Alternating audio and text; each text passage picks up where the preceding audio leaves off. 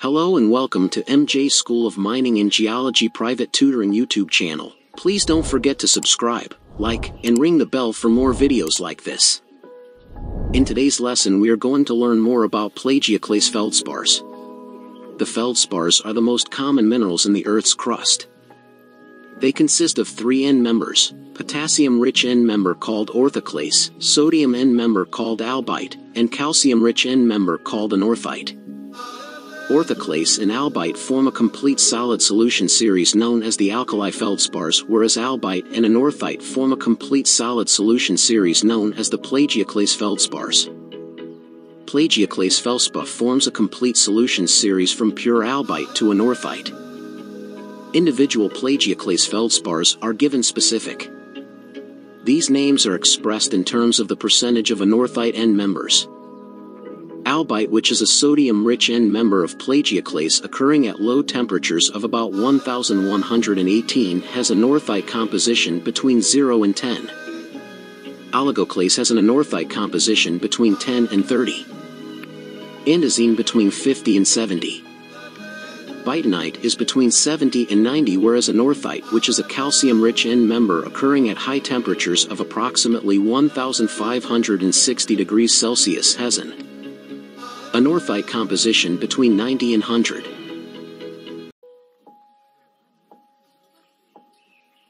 Plagioclase feldspars are widely distributed than alkali feldspars.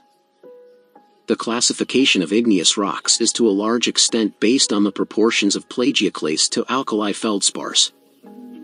Among volcanic rocks plagioclase is essential in, for example, basalt that is the most common rock type of all ocean floors usually below a thin layer of sediments called pelagic sediments. Plagioclase is therefore also a major component of the plutonic equivalent of basalt called gabbro the composition of plagioclase in igneous rocks varies with the temperature of formation. In keeping with the phase diagram, the calcium-rich plagioclases form at higher temperatures than sodium-rich ones. For example, gabbro typically contains labradorite andesite whereas granites typically contain oligoclase.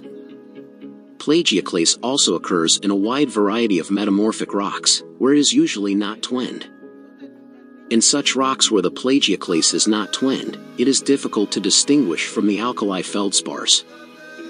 Plagioclase can be a component of clastic sedimentary rocks, although it is less stable near the Earth's surface than alkali feldspar and quartz, and usually breaks down to clay minerals during weathering. The plagioclase feldspar usually alter to clay minerals or sericite. All members of the plagioclase series crystallize in triclinic system. Crystals are commonly tabular parallel to 010. Repeated twinning or twinning looking like zebra stripes called polysynthetic twinning parallel with 010 is extremely common and is sometimes visible in hand specimen.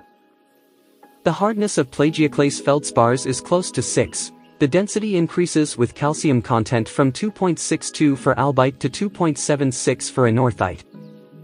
Plagioclase can be colorless, white or gray. A beautiful play of colors called labradorescence is seen in some plagioclase crystals. One of the consequences of fractional crystallization is that zoning can develop. This is uncommon in olivine but is very common in plagioclase feldspars. This is because when plagioclase changes composition during reaction with the melt it requires a coupled reaction involving sodium ion plus silicon ion which equals to calcium ion plus aluminium. 3 plus ion. Not only does some calcium become replaced by sodium in a site with coordination numbers 6 to 8, but to maintain electronic neutrality. Some aluminum has to be replaced by silicon in the tetrahedral site. This is a slow process and often results in incomplete reaction so that compositional zoning of plagioclase crystals results in calcium-rich cores and sodium-rich margins or rims. This brings us to the end of our lesson, let us know if there's something you wish us to cover in our next video in the comments section